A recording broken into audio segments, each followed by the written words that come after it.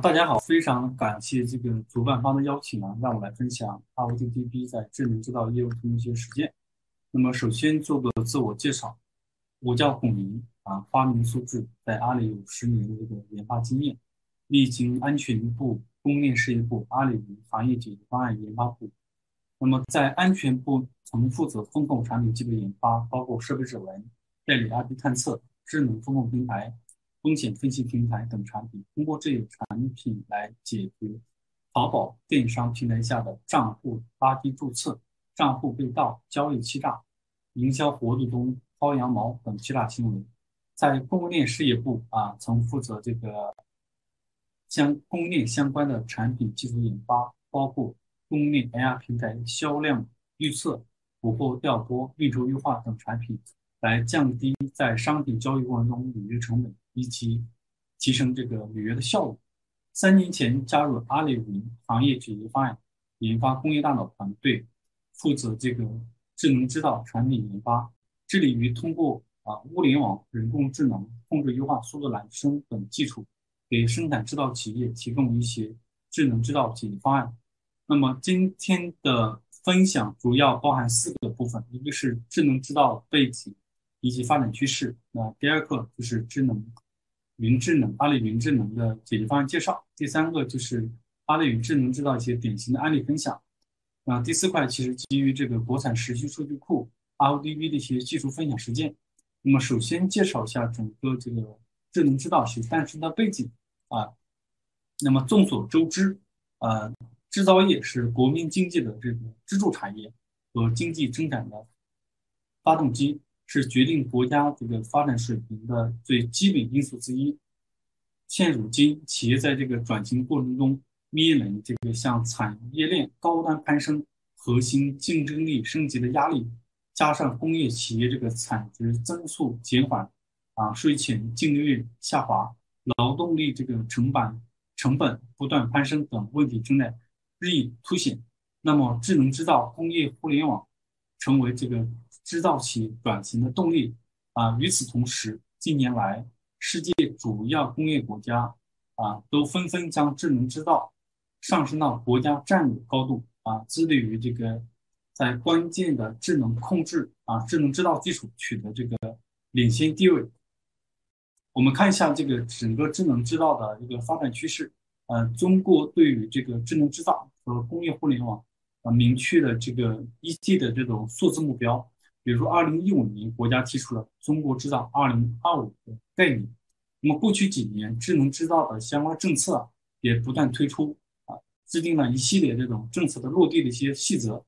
那如推进一些呃地方工业企业的这种设备联网啊，投入这种信息化、数字化的这种专项补贴政策，也是分层结有啊，自上至下这种逐步的这种推进。那中国智能制造的其主要的特色是这个补短板。啊，促转型。具体来说呢，就是以智能工厂为载体啊，以关键的智能制造环境智能化为核心啊，以端到端这种数据流为基础，以这种工业互联为支撑等。实际上，智能制造的其定义是比较全面的。而美国这个工业互联网呢，它的定义是偏于产 产业的这个协同和互联网改造。德国的这种智能制造偏向于工厂间的互联，而中国从厂内的这种智能化到这个工厂间的这种互联互通啊，政策的其实目标啊更加的这个全面和广泛。嗯，接下来呢，给大家介绍一下整个阿里这个阿里云智能制造一些业务场景，以及这个智能制造的一些解决方案。首先，呃，首先先介绍一下整个这个。智能制造业务有哪些硬场景？其实围绕整个企制造业的整个生产的这个过程，呃，制造智能制造的硬场景其实大致可以概括归纳为三类啊。第一类呢是这个设备智能运维啊，包括这种设备的预测性维护、故障诊断，包括远程运维等能力。典型的一个案例啊，比如说海上这种风力发电。设备位置是比较发散，然后通过远程诊断这种能力来提升现场巡检的这个效率和这个降低这个运维的成本和安全风险。那么第二类呢，就是业务些运行的优化，包括这个设计的仿真、生产优化啊、运营管理和能耗的优化，比如生产优化来解决市场需求从过去的这种大批量、规模化，逐渐转向小规模啊个性化定制的这种新型模式的生产优化问题。那么能耗优化呢，其实是解决这个企业生产过程中对一些煤炭啊。电力啊等能源的这种节能减排，后面呢也会有具体的案例进行分享。第三类就是一个产业的这种协同创新啊，比如这种同材统销，那么降低这个采购的成本，通过这种合理的这个规划工厂的布局啊，包括一些物流的仓容规划等，来降低这个销售环节的这种运输成本。那么通过这个资产数据的这个实时盘点啊，来进行这个抵押。啊，融资啊，贷款等等啊，基于基于这些应用场景，接下来介绍一下阿里云的这种智能制造解决方案。那么，也正是过去几年在这个行业中的探索积累，以及对于这个敬畏行业对行业的一些敬畏，我们沉淀了一定的这种产品解决方案。那么，在这个产品解决方案主要是由这个智能制造平三个基础产品组成啊。物物联分析平台 Arget 啊，提供这个 OT 数据的这种采集、计算、存储、分析、查询、预警以及控制等一站式能力。那么这里的持续数据库呢，是是使用阿里的 Lending 产品，阿里 Lending 是是基于并且完全兼容阿帕奇 RDB 的这种数据数据库啊。第二个产基础产品就是智能制造平台的 ASS 啊。它在提供这种辨识建模、模型预测啊、控制些角色优化等原子能力，通过这种平台组件和开放式能力组件进行拖拉式拽的这种方式来搭建一些应用场景啊，核心解决一些比如说智能控制角色优化的问题。第三个基础产品就是可视化平台，比如 Between 啊，数字孪生，负责工厂、产业设备等 3D 数字化虚拟呈现，提供这种仿真分析啊和监控管理的能力。那么通过这种基础产品进行组合叠加，形成智能控制啊、工艺优化、设备等解决方案。那么致力于解决钢铁啊、水泥啊、化工、部分等行业的一些痛点问题。我们接下来进入第三个主题，就是阿里云智能一些案例的分享。刚才其实也介绍了阿里云整个制造业布局还比较早，我们至今其实发展了六七个年头。平来平头也积累了一定的这种案例。那么今天主要是介绍了几个典型案例：一个垃圾焚烧优化，呃，钢铁加热炉智能化，水泥生产过程智能化，以及这个汽车生产过程数字化。那么首先我们介绍第一个案例，就是垃圾焚烧业务化。生活中大大家都会产生大量的这种生活垃圾啊。过去的主要的这种处理方式，这个是填埋啊，不仅会占用这种大量的土地。而且垃圾中这种有害成分对大气、土壤以及水资源会造成严重污染，而垃圾焚烧处理通过高温无害化啊，占地面积不大，对这个环境的影响较小，又可以进行热能的回收啊。随着人民人们对环境意识的这种不断的这个增强和热能回收等综合这种技术的提升啊，世界各国采用垃圾焚烧处理这种生活垃圾的比例。正在逐年增加。首先，我们去看一下这个垃圾焚烧的工业流程。垃圾啊，生活垃圾会运到这个垃圾场的垃圾池进行发酵七天，通过这个炉排炉啊燃烧，产生这个蒸汽，推动蒸汽机进行发电，然后对这种燃烧过程中产生的这个废水啊、废气和废渣进行无害化处理。那么，在这个整工业流程中，有面临几方面的一些行业动力。第一就是烟气的这个排放的这个标准啊，要求是温度是不能低于八百五十度，因为温度太低呢会产生有害物质，如这个二氧将耗费大量的这种活性炭、氨水等环保制剂啊，增加这个成本。你温度太高呢，其实会造成这个锅炉啊结节、结焦啊，影响这个炉排的这个寿命以及垃圾的这种处理量。那么第二个痛点呢，就是是说你要必须保证稳定的发电量或者是蒸汽量，才能接入电网，否则你会影响这个电网的一些调度。那第三呢，就是说受这个垃圾原材料的这个影响，比如是温度啊，你会带来这个炉排的炉温这个波动就比较大，导致这个手动控制操作比较频繁啊，工作量是比较大的。然后另外呢，就是招工难这个培养周期也是比较长。嗯，我们接下来看一下整个垃呃 AI 是怎么助力这个垃圾焚烧智能的。那么在这个垃圾焚烧控制优化整个解决方案中呢，是通过我们 i k 的产品是对接 DCS 系统啊，通过网闸是每秒这种来采集这个炉温啊，包括一些配料器的一些速度啊，包括一四二四这种风量、炉压等一些点位数据，以及加工成这种指标数据啊，保存在这个 RDDB 中，提供这个算法引擎和分析这个组件使用啊。那第二步呢是 ISS 呢会通过这个调度引擎来每秒获取这种测点的一些最新的数据啊，一些指标数据进行炉温的这种预测，然后通过这种控制引擎来计算一定的这个计算一次，比如说计算一次风量这个设定值啊，炉排的循环周期啊设定值，包括一些推料速度的设定值，发送给 AGATE 那么 AGATE 呢会对这些数据啊。嗯，进行质量码上下限啊，包括一些上一次的这种反控值的进行对比校验，满足这种校验规则，通过这种批量啊、多批次啊，发送给 DCS 进行反控写入。那么在整个这个项目实施过程当中呢，所以我们是基于 RODDB 啊、UDF 分动了大量的业务算子来提供用户使用，比如说一些开仓的滑动平均，然后一些滤波等。垃圾焚烧呢，其实看似简单，其实整个实际工艺复杂。原来靠这种人工操作比较控制啊，产生这个生产波动是比较大，导致这个工艺供应链。现在呢是通过这个 OT 的技术、AR 的技术，包括一些视觉技术融合，实现了这种秒级的是智能化控制，在排放这个满足排放标准的这种情况下，有效的保证了稳定的发电量。好。我们会进入第二个呃案例，就是在钢铁这个生产过程当中一些实践。那么钢铁加热炉燃烧优化，那么第二个案例是钢铁加热炉燃烧优化，在这个经济这种新常态的形势下，这个流程工业其实它的产能过剩，钢铁的竞争是白热化，面临了很多这种挑战，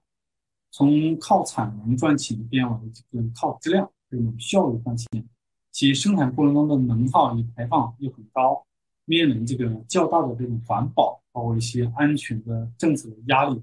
像钢铁行业呢，产业链较短，但制造过程其实比较长，工序比较多。从这个开矿石啊、烧结、炼焦、炼钢啊、连铸、轧钢等过程，其实钢铁加热就是轧钢的一个环境。那原来这个。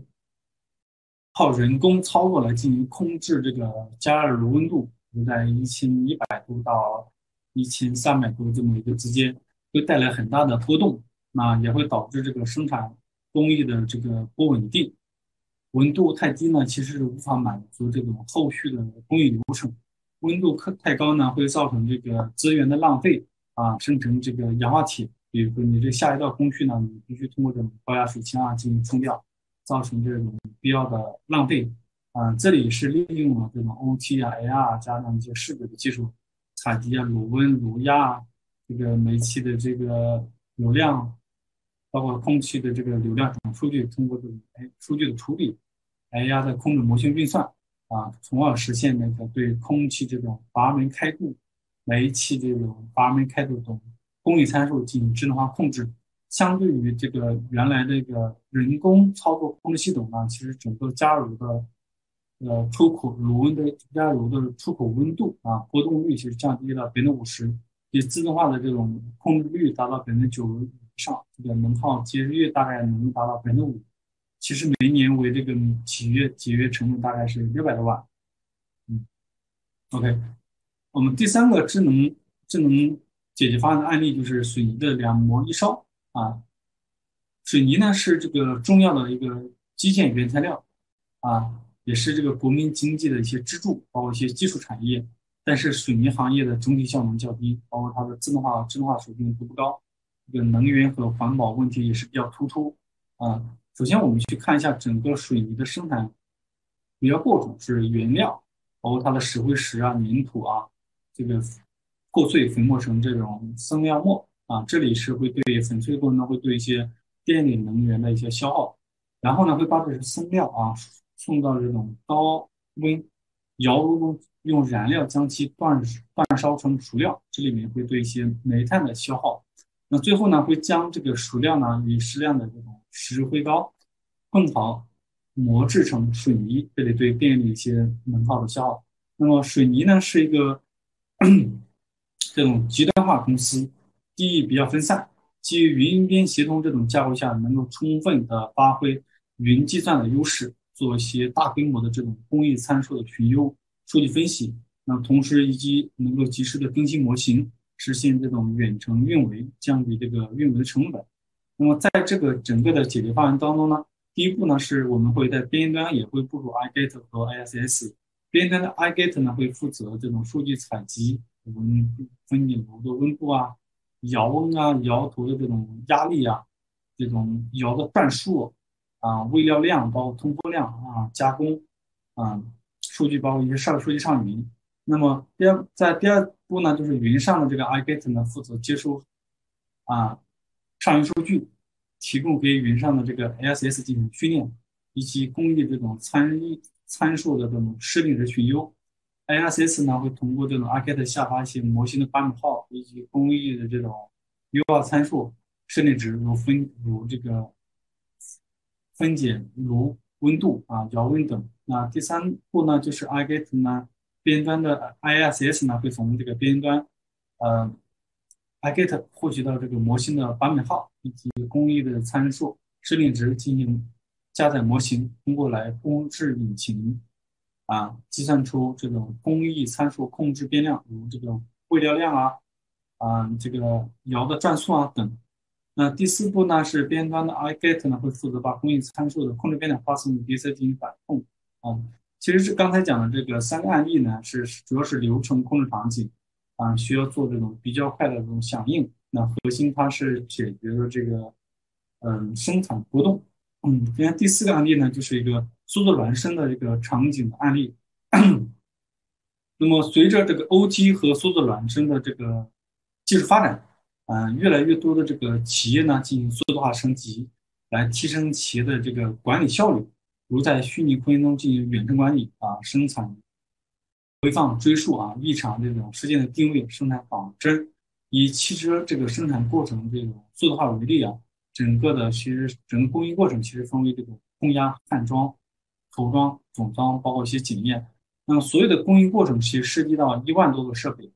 啊，有大概百万级的这种测点数据进行采集、存储和查询。那么在我们在这个汽车速度孪生项目实施过程中，资源有限的情况下，其实要支持每秒百万测点的写入，同时呢，要能够做到支持每秒读取百万级测点啊，这种在这个在某一刻的这种数据，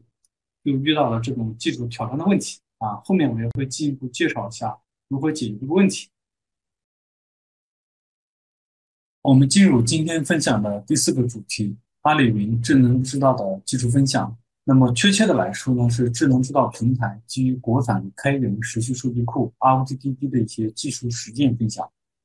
那么首先是一个平台的引进。那么原来是基于英弗拉英弗拉 DB 的架构，在智能控制场景啊，往往都是对一些锅炉、窑炉进行控制。那么控制频率和稳定性的要求都比较高。那么智能控制 ASS 呢，是秒级这种周期性调度。会使用大量的测点最新值和指标数据作为这个算法模型的输入，所以对这种查询最新值的 IT 延迟性和稳定性要求就比较高。而英普拉 DB 这种缓存机制呢，会受这种写入数据的影响，无法保障这个最新值的这个数据查询都会命中缓存啊。导致这个 IT 不稳定，因此呢，在架构上引入了这个 Redis 的缓存机制。那么最新值的这种缓存采用的是 Redis 的 HashiMap 这种结构进行存储。那么 Redis 的 Key 呢是一个 Device ID，value 值呢是一个 HashiMap 结构。那么 HashiMap 的 Key 呢是一个测点编码，哈希 value 是一个阶层结构，包括这个时间啊、具体值啊，还有一些质量码。那么引入 Redis 之后呢，我们要保证这个乱序的问题，通过这个 Lua 脚本来保证乱序数据的判断和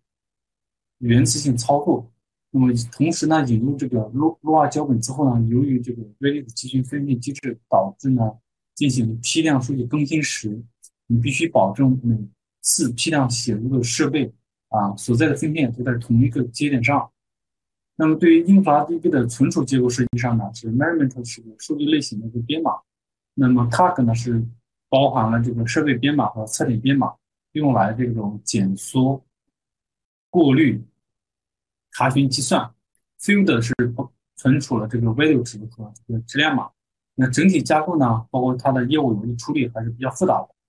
我们接下来也看一下基于 RDB。的这种架构方案是一个怎么样的？那么在新的架构下，iGet 负责数据的采集，通过模型这种组装映射，直接写入这种 ROTDB 持续数据库。基于 ROTDB 的这种最新值的缓存机制，应该可以说是作为原数据进行存储。那么在保证这种正确处理乱序数据的同时呢？提升了查询性能。另一方面呢，也是 ROTDB 内置的这种聚合计算加速功能，让整个的这种聚合查询的性能更好，延迟更加低。那么提升了业务在进行数据分析时的查询效率。整体上让整个这个产品这个技术架构比较简化，而且易于运维。那么第二个技术点呢，就是一些扩展性的提升。那么是基于 ROTDB UDF 啊，实现业务的算子化的一个沉淀。那么在基于 InfluxDB 这种架构下，其实阿盖的产品是不具备这个能力的啊。所有的这种数据处理都抛到业务层，那么增加业务层的这种复杂性，比如这种滤波计算。那么在基于这种 ROTDB 架构下，通过扩展这个 UDF 远程加载的能力。啊，提升了这个平台的一个扩展性，能够让用户平台的用户把这种业务处理能力进行算子化，通过这个 iGet 这个算子管理能力进行上架注册，从而在这个平台上进行算子化沉淀。另外，在这个 iGet 系统上也提供了一种基于算子的这种数据加工可视化工具啊，降低这个用户的门槛，让数据嗯这个挖掘。变得触手可得，那么再利用这个平台这个可视化分析工具啊，大大这个提升了这个数据分析的效率。那么在这个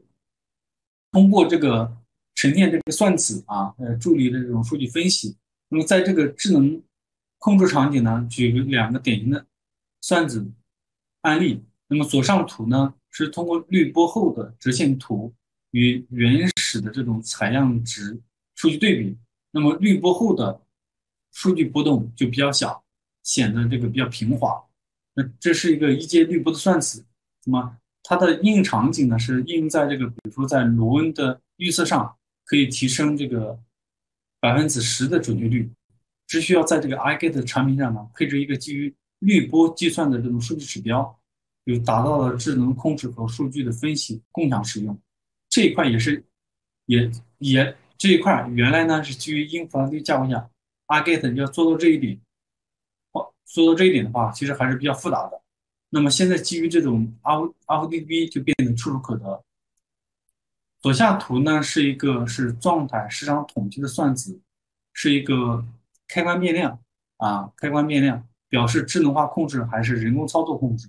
在计算智能化控制自动化投运率的指标来说，原来是需要通过 ASS 这种 Python 组件脚本轮询读取这种明细的数据进行计算，过程比较复杂。那么在新的架构下，我们是基于这种 ROTDB UDF 实现的一个状态这个持续统计算子，极大的这个提升了业务方使用的效率啊。其实这个状态这种时长统计算子使用的场景还是比较多的，比如在计算这种设备啊开机。持续时间啊、开机率等指标数据，这也是其实设备 OE 里边统计常用的算子。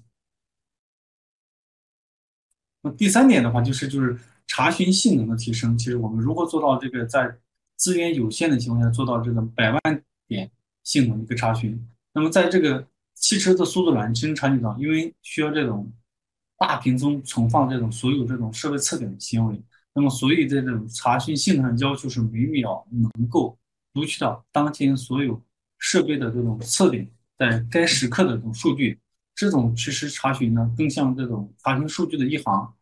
用这种智能控制建模，就是把物理空间概念啊，物理空间概念、工厂、车间、产线、设备测点与这个 ROTDB 的这个存储组啊，device 啊，power management 逻辑进行映射，即其实就是每个测点啊一个时间序列，这种百万级测点也是百万级规模的这种时间序列，也意味着在这种机器板下，那么每秒是不可能达到很高的这种读磁盘 RO 次数。更不可能在这种劣势存储的实际数据库实现如此高的这种传输效率。因此，我们根据 ROTB 这种劣势存储的特性啊，对建模方案做了一些改进啊，增加了一种新的建模方案。那么，其实我们是根据这汽车的这种生产工艺过程，把设备分组啊，划分为一些工序段，将每个工序段做一个 measurement，然后同一个工具段的测点编码呢，到对应数据类型的时间序列的纳秒时间上。这样就是大幅度减少这个时间序列的数量，用更少次数的读磁盘 I/O，按照这个秒级查询，啊，能够查到所有的数据，从而这个提升这个查询的这个吞吐量，满足了我们数字孪生的这个应场景。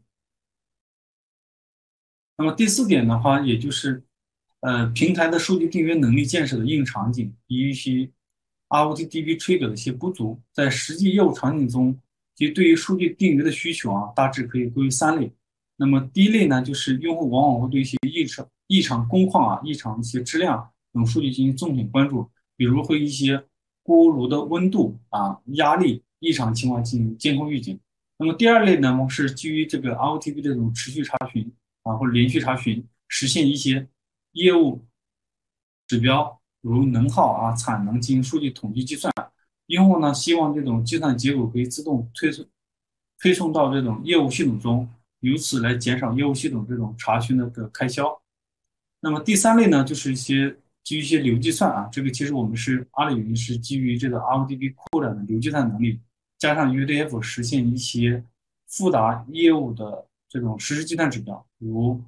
这个这个在实现这个工艺优化。智能这个报警指标异常检测等属于动画能力上，但是但是呢，在当下的这个 R O D D B 的这种吹割能力啊，稍微有些不足。其实主要体现几个方面，一个方面呢就是，嗯这个必须要支持全路径定义。那么第二呢，就是 trigger 呢要紧密支持对单个事件进行定义。第三个呢是是由于这种 trigger 的这种它的一个发译接口啊，支持同步调用。啊，因此呢，只适合这种一些轻量的、少量化的这种数据的调用。那第四块就是 trigger 呢，是一是一种有状态的计算啊，暂不支持这种执行模式。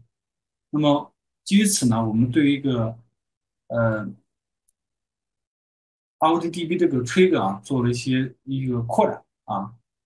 那么实现这个扩展呢，其实主要呢分了几个步骤啊。第一步呢，就是我们。核心扩展这个 trigger 引擎接口呢，能够支持按照前缀路径进行触发，比如说能够支持 group 啊，或者是 device 的一个维度。那么同时呢，会把这个 measurement 的一些一些全路径啊，能够进行拓传到具体的 trigger。我们实现了一种这种数据转发的这种 forward trigger。那么在这个 forward 的时间内部呢，是通过了这种生产者、消费者模式啊，实现数据的这种。写入到 P 处理队列，然后通过这种 HDP 或者是 MQ 协议对应的 HAND 处理器进行定时定量的 P 处理推送数据。那这里其实核心的就是通过这种异步 P 处理、线程池啊等技术，来提升这种数据转发的这种吞吐量和效率啊。那下面就是有个具体的使用示例啊，通过这种 Create Trigger 来创建触发器。那么触发器的策略呢，是一个 auto insert，就也就是说，在这个插入数据插入存储之后进行进行触发。那么 root 点 HTTP 是一个触发路径，这里可以是一个全路径或者一个前缀路径。as 呢，紧接着是一个就是 forward 的一个全包类名。那 with 里边呢是包含了一些协议啊，以及对应的这种参数。呃杰森这个协议模模板是业方接收到的一个数据格式，当有数据插入时，运营方就可以收到对应格式的数据。OK，今天的分享内容就到此结束了。再次感谢大家的宝贵时间进行聆听，谢谢。